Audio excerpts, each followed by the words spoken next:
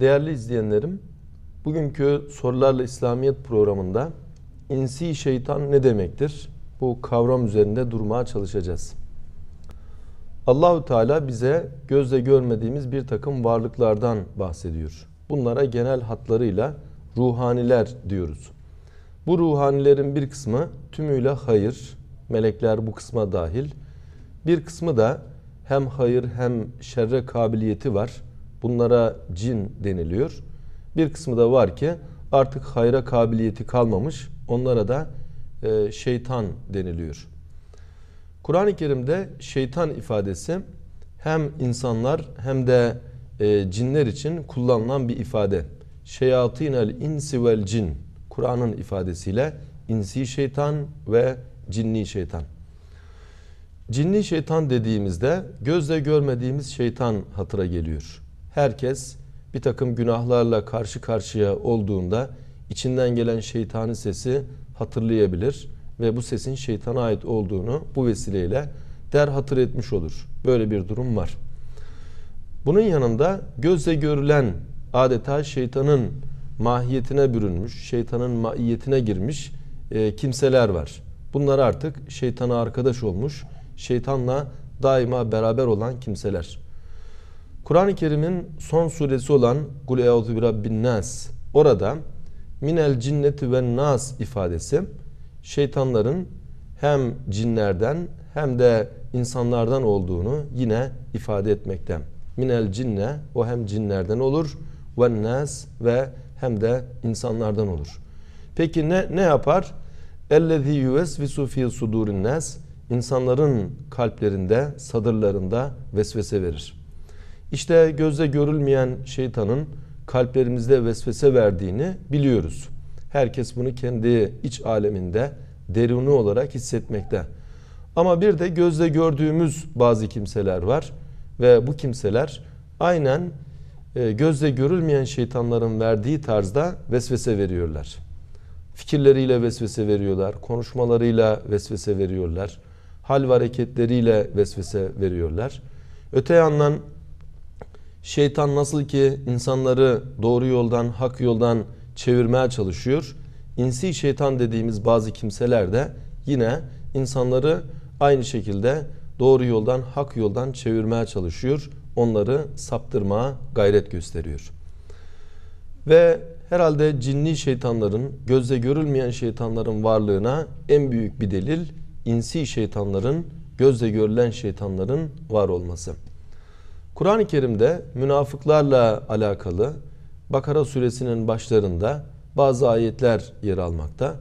Ve orada dikkatimizi çeken ayetlerden biri şöyle diyor. Ve izâ legullezîne âmenû gâlu âmennâ. O münafıklar iman edenlerle bir araya geldiklerinde, karşılaştıklarında âmennâ, iman ettik derler.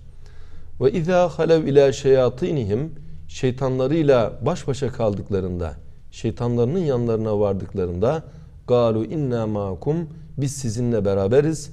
Ee, innema nahnu müstehziun biz o iman edenlerle ancak dalga geçiyoruz derler. Burada işte münafıklarla alakalı bu ayette onlar şeytanlarıyla baş başa kaldığında ifadesi.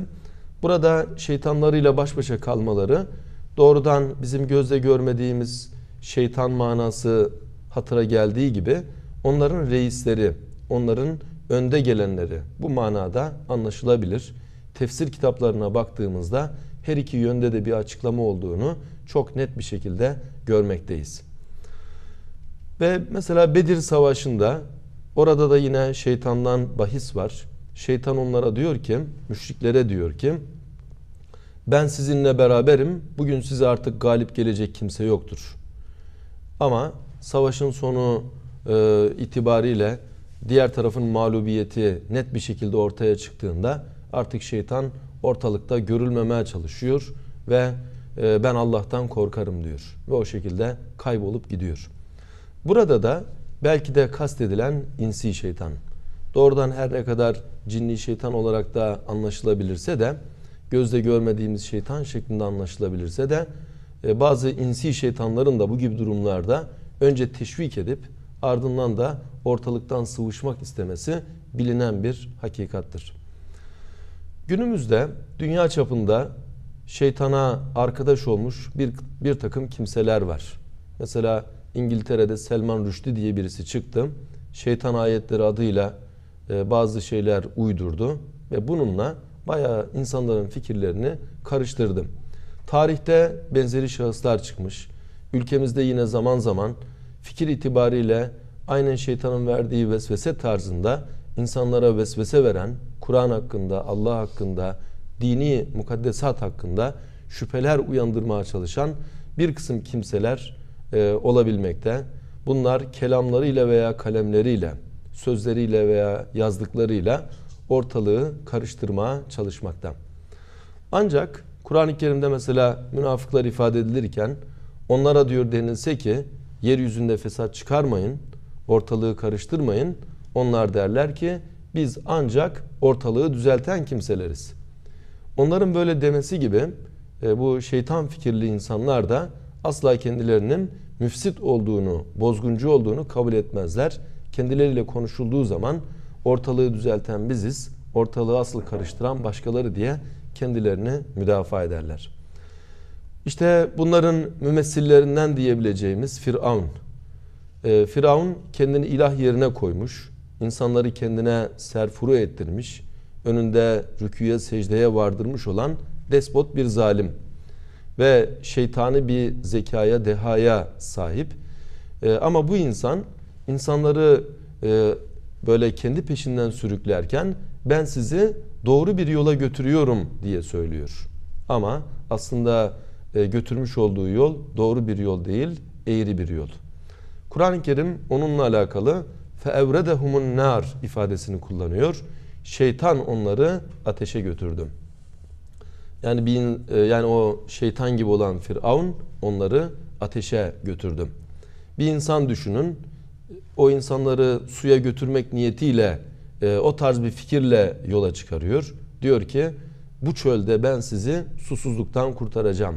E, benim peşimden gelin suya kavuşacağız diyor.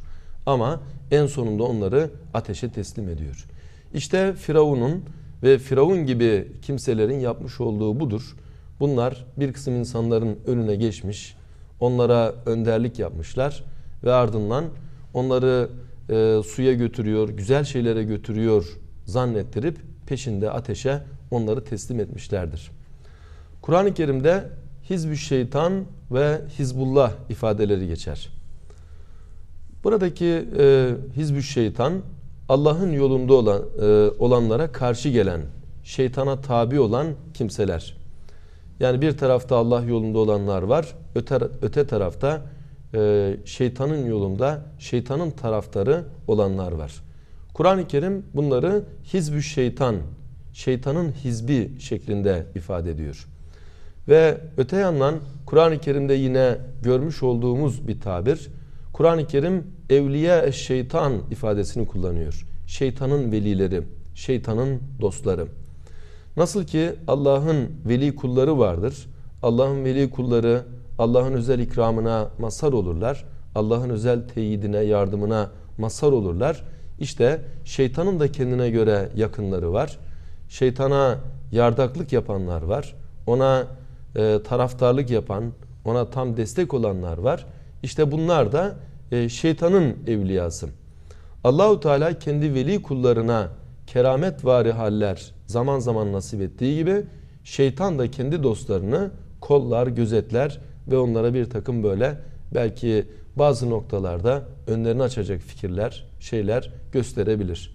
Böylece o da kendi evliyasını, kendine tabi olanlarını bu şekilde e, muhafaza etmeye çalışır ve o tarzda bunlar yollarına devam ederler. Şu alemde nasıl ki bir yanda gece var, öte yanda gündüz var. Gece ve gündüz daima birbiriyle e, çatışma halinde adeta. Biri e, aydınlık, diğeri karanlık. Onun gibi e, bir tarafta Allah dostları var, peygamber yolundan gidenler. Öte yandan şeytanın dostları var, şeytanın yolundan gidenler. Allah'ın dostları en güzele talip, en iyiyi yapmaya çalışıyorlar. Ama öte yandan şeytanın dostları bunlar hep karanlık işlerle meşgul, karanlıktan hoşlanıyorlar, haramlardan lezzet alıyorlar ve o şekilde hem kendileri sapıyorlar hem de insanları saptırmaya çalışıyorlar. Cenab-ı Hak hepimizi hem insi hem de cinni şeytanlardan muhafaza eylesin. Bir başka programımızda görüşmek üzere. Hayırlı günler diliyorum.